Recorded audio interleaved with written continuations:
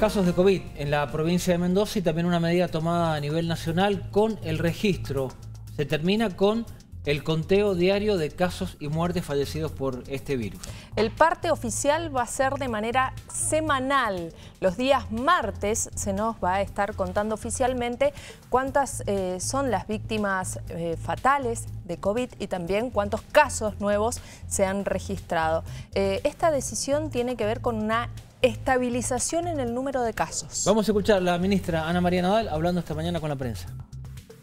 COVID estamos hace ocho semanas en un decrecimiento sostenido de casos.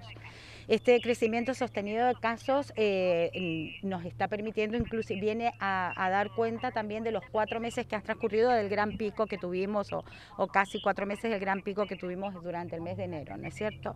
Entonces, eh, con las variantes que hoy tenemos, este crecimiento es algo que eh, se espera que siga sosteniéndose de cara al invierno, dependemos que aparezca una nueva subvariante o una variante nueva de COVID y bueno, y esta relación que haya de circulación de virus en la provincia de Mendoza. Lo esperable es no pensar y no mirar solo COVID, sino mirar todos los virus respiratorios que puedan transcurrir, que podamos tener en, perdón, en, en, existencia o en transmisión.